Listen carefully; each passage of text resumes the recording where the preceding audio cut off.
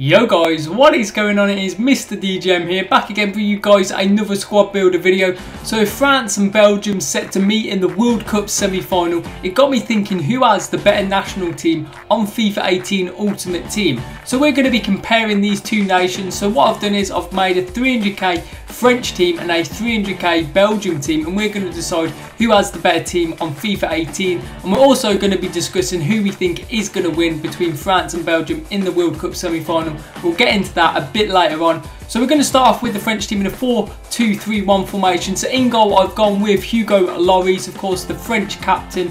I brought for 20,000 coins.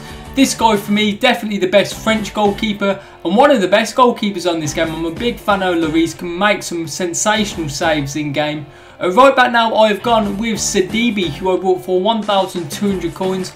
A solid fullback, I wouldn't say this guy's anything sensational, I'd say he's fairly average in game but he does a solid job when you use him.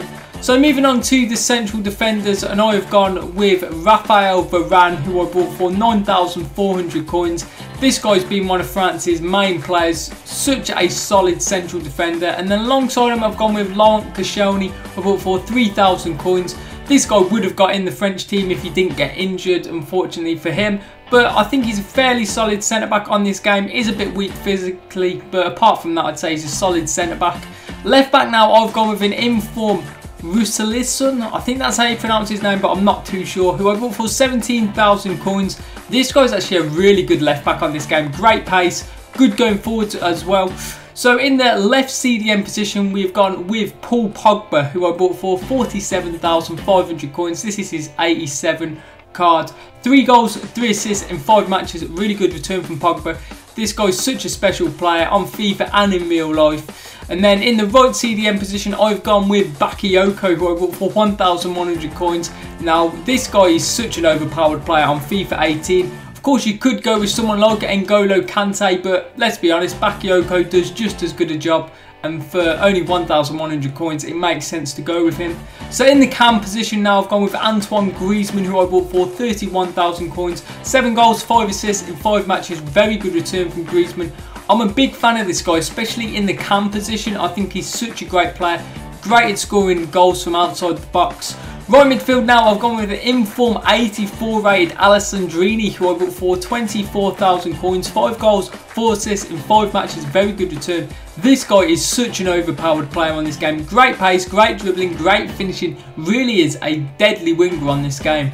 Left midfield now, we've gone with the forgotten man in terms of the French team in the 83 rated Anthony Martial, who I bought for 3,400 coins. This guy, very overpowered winger on this game, can score goals, can create chances, really strong and powerful player. And then up front, we've with the ones to watch, the 87 rated Kylian Mbappe, who I bought for 140,000 coins. Big money signing, but this guy is such a special player on this game.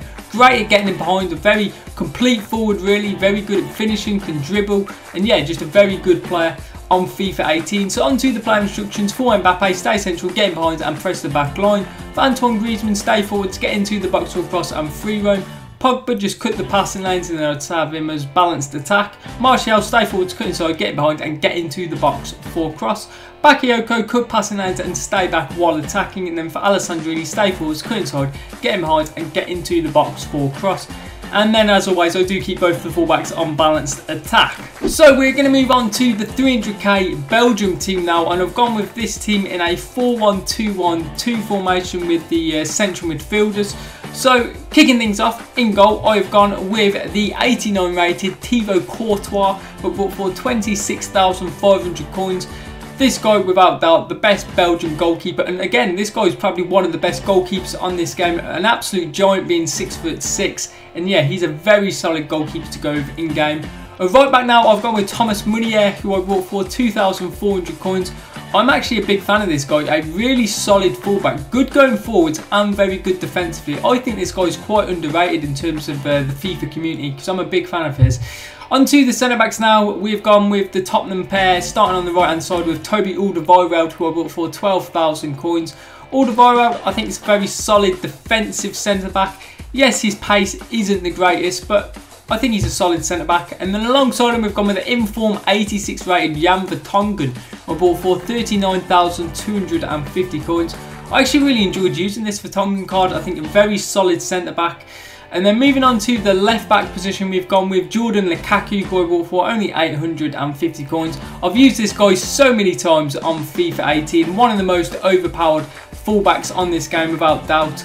So moving into the CDM position, we've gone with the other forgotten man in Radja Nainggolan, who surprisingly got left out of the Belgium national team. I bought for 10,500 coins, a really good box-to-box -box midfielder, can play in a number of positions. So moving into the right central midfield position, we've got, for me, the best player in the Belgium national team, their main man, Kevin De Bruyne. I bought for 60,000 coins, 3 goals, 6 assists in 5 matches, a really good player on FIFA 18. And uh, yeah, as I did say, I think this guy is the heart and soul really of the Belgium national team. Such an important player for them. Left central midfield now, I've gone with Moussa Dembele, who I actually packed. He's played a total of 54 matches, he's got 10 goals and 12 assists. Such a strong and powerful, but also a composed midfielder. So moving into the cam position, I've gone with an 87 rated Dries Mertens, who I bought for 14,000 coins. Of course, this guy's originally a striker, but I feel he plays the cam position rather well. Great pace, great dribbling, can score goals, and yeah, I think he's a very good cam on this game. So moving on to the strikers, we've got two ones to watch players, starting off on the right, hand side with Michy Batshuayi, of course an 87 rated striker, who bought for 26,000 coins. I'm a massive fan of this Batshuayi card. Scores goals and yeah, just a very complete forward. And then up front alongside him, we've got the ones to watch Romelu Lukaku, for 101,000 coins. I'm also a very big fan of Lukaku on FIFA, such a strong and powerful forward and a really clinical finisher. So moving on to the player instructions for Lukaku, stay central, get in behind and press the back line. I would also tell Michy Batshuayi to do the exact same as the Lukaku. Mertens stay forwards, get into the box for a cross and free roam. De Bruyne, I would tell him to get into the box for a cross and I would also tell Dembele to get into the box for a cross and then I would tell Radja Nainggolan to cut past the lanes and stay back while attacking. And as always, I do keep both of the fullbacks on balanced attack.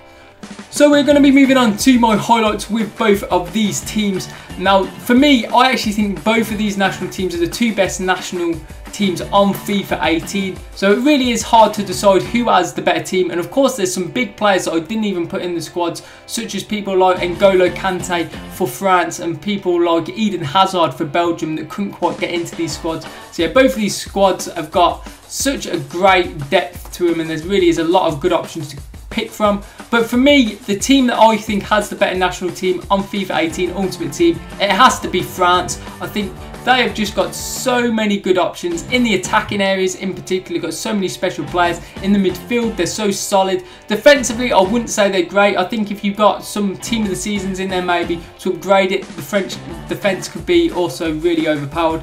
But yeah, for me, I think the French national team is better on FIFA 18. And in terms of who do I think is going to win between France and Belgium, I would say, in my opinion, I think France are going to beat Belgium. Let me know what you guys think. We're going to be running two polls, so it'd be interesting to see what you guys say. But uh, yeah, that, that's just going to be about it from me for today, guys. Uh, if you have enjoyed this video, if you could drop a like on it, that would be absolutely amazing. If you guys could subscribe and help me on my way to 3,000 subscribers, I would hugely appreciate that. But yeah, guys, that is just going to be about it from me for today. So I will catch you in the next video.